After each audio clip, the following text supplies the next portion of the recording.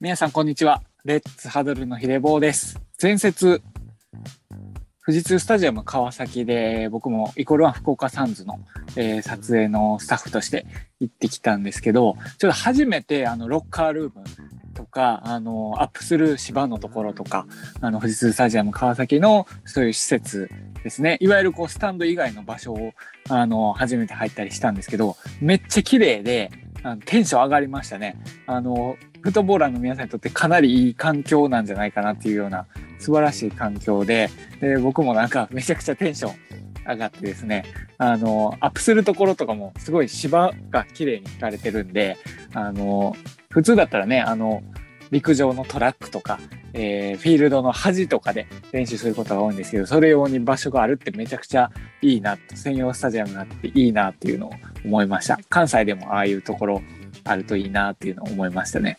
で、まあ、あの、いろいろ、そのサンズの試合の時もあったんですけど、あの、面白かったのは、関東への遠征ということもあってですかね、あの、結構選手たちが、あの、博多土産みたいなものを持ってきていて、で、僕も なぜか、あの、博多通り門を広報スタッフの方と、えーそして大久保新選手、おかず力調査隊の新田隊にもいただいてしまいまして、ありがとうございました。いやー、ね、そしてグッズを買ったら、えーこういう写真がついてくるということで、あの、もちろん、おかず力調査隊のものにしましたよ。イエイ。まあ、そんな、えー富士通スタジアム川崎での試合もまた、えー次節も予定されているっていうことなんですけど、そんなところで、えー早速、ネクストハドル、えーウィーク5ですね、ついに。もう残り2試合となってきたところですけど、見ていきたいと思います。紹介は、ヒデボーによる独断と偏見による情報が含まれています。協会や連盟、各チームとは関係なく、個人的にしているものなので、その点ご留意ください。ということで、ウィーク5、X1 エリアの注目試合は、ディアーズフットボールクラブ対朝日飲料クラブチャレンジャーズです。いや、この対決なんですけど、本当に、えー特にディアーズにとっては、もう負けてしまうと、X1 スーパー昇格がかなり厳しくなってしまうっていうゲームですし、えーアサヒ飲料の方も、えーこの後、アサヒビールとの試合があることを考えると、ここでしっかり勝って、えー全勝に向けて、えー走っていきたいというところだと思うので、めちゃくちゃ、注目の一戦です。10月24日日曜日12時、神戸市王子スタジアムキックオフということなので、関西の朝日寮のホームゲームというような形になります。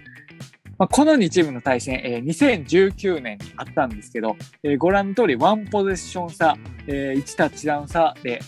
朝日寮が勝利をしました。もう本当に、ギリギリのところで朝日寮の、当時所属していた中川選手、現在エレコムの34番で、えーディフェンスバックの選手ですけど、中川選手のパスカットがあったりとか、えー大江選手の活躍があったりとか、えーいろんなアサヒ飲料のスキルポジションの選手たちが活躍をして、えーなんとか勝ったというゲームだったんですけど、ディアーズの方も本当に、えー攻撃力もその時もありまして、えー結構競った試合で面白かったなというところなので、まあ、この試合も接戦になるのかなというところで思ってます。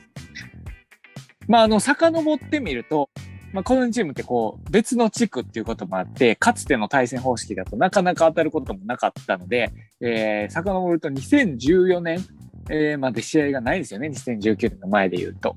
まあ、その時は、えー LIXIL ディアーズとしてのディアーズが勝ちましたけど、まあ、あんまりこう、もう選手も大幅に変わってますし、参考になる数字ではないんですけど、まあ、それだけ、えーお互いちょっと古豪というか、昔からの強豪というイメージですけど、対戦、ここ10年ぐらいの対戦ほほとんどないというようなところで、まあ、どんな、えーライバル関係がこれからできていくのかなみたいな、そういうところも含めて、えー注目したいなと思っています。え注目ポイントです。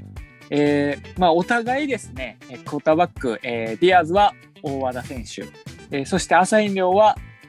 ギャレット選手。この2人の、えークォーターバックから放たれるテンポの良いパス攻撃が売りの2チームっていうことに、えーなってきます。もちろん、えーこの2人がどんな、えーロングパスを決めてくれるのか、どんな派手なプレーを決めてくれるのかっていうところは楽しみなんですけど、やっぱりこのパスオフェンスをどう止めるのかっていうところで、えー勝負を分けるのはパスラッシュ、そして効果的なブリッツじゃないかなと思っています。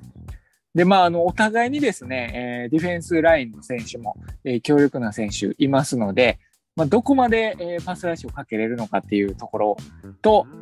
まあ、あとはラインバッカー陣ですよね。えこの後も紹介しますけど、お互いラインバッカーで、あの、すごいスピードもあってとか、プレーの読みが速くてっていう選手がいるので、まあ、効果的なタイミングでブリッツをコールしたり、あるいは、えー、選手の判断で、えー、ここで相手の動き止めるぞっていうようなところがどれぐらい見られるのか、これによって、えー、かなり勝負の行方が変わってくるのかなと思います。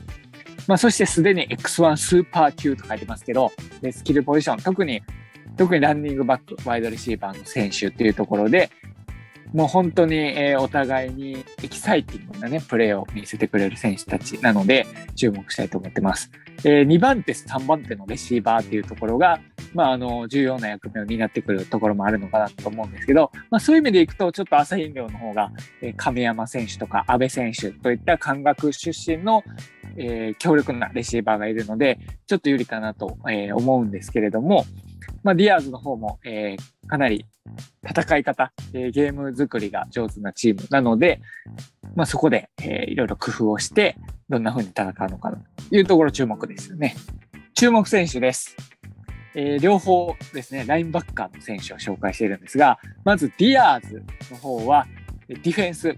勝負どころでタックルを見舞うファルコン・アンディと 書かせていただきました。慶應義塾大学出身、ラインバッカー10番の安藤明選手ですね。まあ、あの、安藤選手、えー、プロフィール紹介のところでアンディっていうあだ名を書かれてたんですけど、まあ、それでアンディっていうのと、あとはファルコンっていうのは、あの、はやぶさのことですけど、もう本当にはやぶさのようにガスーンとこう飛んできてタックルするみたいな、えー、ところで、あの、ここに来るんだっていうのが分かってからのスピード、駆け上がるスピード速いですし、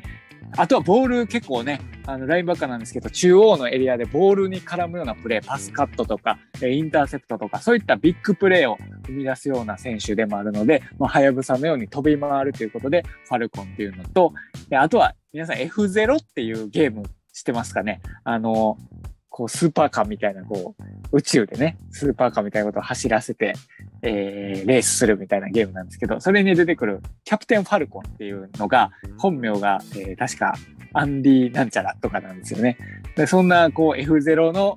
マシンのようなこうスピードでガガガガと動き回ったりとか、まあ、キャプテンファルコンのような筋肉隆々の体とか、まあ、そういった意味も込めて、ちょっとファルコンアンディということで、えー、今回はキャッチコピーつけさせていただきました。で、朝日飲料はもちろんパスっていう話もあるんですけど、ランプレーもね、結構強力な、えー、ところがあって、エースランニングバックの辰巳選手はもちろんなんですけど、えー、最近では山田選手とか手塚選手、そういった選手もどんどん活躍をしてきているので、間間で特にドロープレーのようなランプレーを安藤選手はじめラインバッカー陣がいかに止めるのかというところも注目したいと思っています。一方の朝飲料チャレンジャーズは、ディフェンス、ボールキャリアまでの最短コースをしろと、プレーリードの達人、ラインバッカー0番、大江健志郎選手です。立命館大学出身で、もう本当に強力な、もう朝飲料のディフェンスといえばというような代名詞のような、存在ですけれども、まあ、大江選手の場合はもちろんあの安藤選手と同じようにこうプレーを読んでスピードっていうこともあるんですけど、もうプレーリードというかですね、早いですね、もうどこにどんなプレーが来るのかっていうことをいち早く察知して、その場にたどり着く、えー、もうボールの近くに絶対いるような選手なので、えー、そういったこう、ボール、ボールを持ってる人、あるいはボールの場所までの最短コースというのを瞬時に見抜いて、そこに、えー、素早いスピードでたどり着いていくというような最高のプレーをたくさん見せてくれる選手ですね。でまあ、ディアーズの方も、えー、アサヒビール戦ではですね、パスを多く使うのかと思いきや、ランプレーをですね、えー、どんどん入れて、特に前半なんかはほぼほぼランでっていうような、えー、ところもあったので、大江選手はじめ、アサヒ飲料のディフェンス陣がいかにこれを、まあ、2ヤード、3ヤード以内のランにとどめて、まあ、場合によってはロスタックルをして、えー、もうパスをせざるを得ない状況をいかに作れるのかっていうところ大事だと思います。で、大和田選手は、もちろんビッグプレーを生み出せる、えー、パスを持っているクォーターバック、えー、ディアーズのクォーターバックなんですけど、なかなかちょっとあの、プレッシャーに弱いところがあるのかなというところもあって、ちょっと投げ遅れる場面なんかも見られるので、アサヒ飲料のディフェンスがランをしっかり止めてパスをせざるを得ない状況をたくさん作って、えー、それでプレッシャーをかけるっていうことが、まあ戦術として考えられることなのかなというふうに思うので、まあ、この大江選手がプレッシャーをかけるシーンも注目ですし、えパスが投げられた時に、あれなんでこんなとこおんのっていうところまで下がってパスカバーをするシーンも、えぜひ見ていただきたいなというところで思います。まあ、そんなファルコン・アンディとプレーリードの達人大江選手、えー、このあたりディフェンス注目していきたいと思います。まあ、あえてね、あの、オフェンスの選手、両チーム注目されがちですけど、えディフェンスっていうところも、えー、ぜひ見ていただけると楽しいかなと思います。えー、得点勝敗予想です、えー、僕の予想では、アサヒ飲料が35で、35点を上げて、ディアーズが24点でアサヒ飲料勝利と。いうような展開もあるんじゃないかなと思っています。この根拠としては、やはりアサヒ飲料の方がオフェンスの駒が多いんじゃないかなというところがあって、場合によってはですね、えー、クォーターバックのサフロン、ギャレット・サフロン選手が自分で持って走るということもありますし、先ほど申し上げたワイドレシーバー陣ですね、えー、エースレシーバー、非常にロバート選手もいるけれども、えー、亀山選手、阿部選手、えー、そういったところもいますし、ランニングバック陣も豊富っていうところでいくと、まあ、アサヒ飲料、スキルポジションの強さで得点をどんどん上げるのではないかと思っています。一方のディアーズは24点の予想はしてるんですけど、えー、ここの出来に関しては、やはりクォーターバックの大和田選手、そして、えー、レシーバー陣の呼吸みたいなところにかかってくるのかなと思います。えー、この試合はどんどんですね、朝日ビル戦とは打って変わって、えー、パスを積極的に投げるんじゃないかなと思ってます。というのも、朝日飲料のディフェンスバックが、ちょっとあの、スペースができる場面が、えー、結構あって、えー、ゾーンの隙間とかが狙われることが、えー、結構これまでの試合も多かったので、まあ、そこに対してどんどんレシーバーを入れていって、パスを通していくということが求められると思うのですが、ちょっとですね、えー、やっぱり一回、インターセプトを食らってしまったりとか、一回サックを食らってしまったっていう、あと立て直せるのかっていうところは若干気になるところで、えー、ディフェンスの流れみたいなものに飲まれないように、ディアーズはする必要があるのかなと思っています。まあ、その、この予想の上では、アサヒ飲料のディフェンスに、まあ、あの、得点を上げるんだけども、最終的には抑えられてしまって、アサヒ飲料が連続得点みたいなことで勝つんじゃないかなとは思うんですけど、まあ、ディアーズもそこの、えー、オフェンスのテンポみたいなことが、えー、維持できれば、えー、大量得点もあり得ると思いますし、えー、ディフェンスがどれぐらいしっかり止めてくれるのかっていうところによって、オフェンスの機会を活かせるのかというところも注目だと思います。まあ、もちろんどの試合もそうなんですけど、ターンオーバーですね。インターセプトとかファンブル、えー、っていうところが、えー、いかに少なく済むのかっていうところと、えー、場合によってはフィールドゴール、キックっていうところも、えー、勝負を分けるところになってくると思うので、えー、このもう本当に、えー、両チーム合わせていっぱいしかしてないようなこんな、えー、ゲームが、えー、この終盤に見られるっていうのはめちゃくちゃ、えー、楽しみだし幸せだなと思うんですけど、えー、いろいろ注目ところもあるので、えー、そういったところを見ながら、えー、楽しみたいと思います。その他、ウィーク5の試合予定です。でちょっとこの週変則的でですね、2週に分かれてみたいな形になっていますが、えまずこの、え23日、24日っていうようなところでは、えー4試合ですね、行われるので、えここに注目してもらえたらと思います。でブルーズフットボールクラブはなかなか勝利が挙げられていない中、警視庁との対戦というところなので、まあ、あの、かなり厳しい試合にはなるかなと思うんですけど、えー、いいプレーたくさん見せてほしいなと思います。でそして、えー、名古屋サイクロンズとアサヒビールシルバースターの試合は、名古屋の、えー、ホームゲームですね、シーズンで、えー、唯一の名古屋での試合というところになってくるんですけど、まあ、あの、何回かデータドでも紹介してますけど、この名古屋サイクロンズに去年まで所属していた河村選手、ランニングバックの河村選手が、アサヒビールシルバースターで今大活躍をされているというところで、えー、先ほどツイッターでもちょっと、えー、名古屋サイクロンズコーシーさんとのやり取りをしてたんですけど、このアサヒビールの河村、エキサイティングなプレーを見せてくれる河村選手を、名古屋サイクロンズの粘り強くてハードなディフェンス、そして、まあ、河村選手のことをよく知ってると思うので、どんな工夫で止めに行くのかっていう、ここの対決も注目ですし、まあ、名古屋は0勝4敗っていう成績ではあるんですけど、工夫に工夫を重ねて、なんとか勝利をもぎ取ろうというチームで、でアサヒビールの大森コーチもですね、あの、名古屋も、えー、ゼロ勝のチームでは少なくともない、本当に強いチームだということをツイートされたりもしてたので、えー、ここの試合、とっても、えー、名古屋決戦注目ですね。そして、えー、イコールワン福岡サンズは富士フィルムミネルヴァと、えー、富士スタジアム川崎で戦う試合です。これはあの私もまた、えー、現地行きますけれども、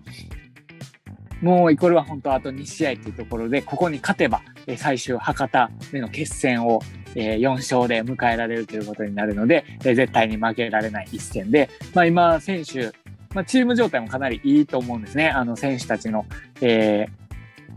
まあ、試合を見ていて本当に楽しそうにプレーをしているというところは、あの肌を肌でもとても感じますし、選手同士が声をかけ合ったりとか、えー、本当にいい雰囲気でフットボールされてるなと思うので、えー、福岡サンズが、えー、どんな試合を見せてくれるのか。まあ、一方の富士フィルムもですね、え久しぶりの勝利を前節挙げましたけど、あの実力的にはですね、ペンターオーシャンパイレーツをあの3点差まで追い込んだというところも、え、あった通り、まあ、本当に、えー、ワンプレー、ビッグプレーが、えー、出れば一気に流れを変えられるような、えー、チームだと思うので、え、松葉コーチのオフェンス、どんなプレーを入れてくるのかとかも楽しみにしながらですね、え、福岡サンズとの戦い、え、これ注目したいなと思っています。